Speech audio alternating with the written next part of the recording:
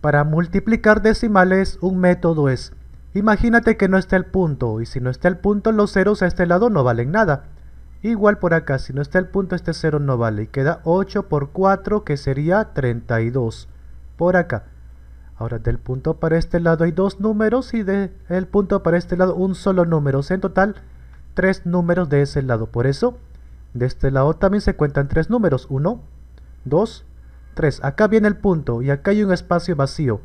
En cada espacio vacío se completa con 0, justo así. Entonces por acá también, así que esta es la respuesta, 0.032.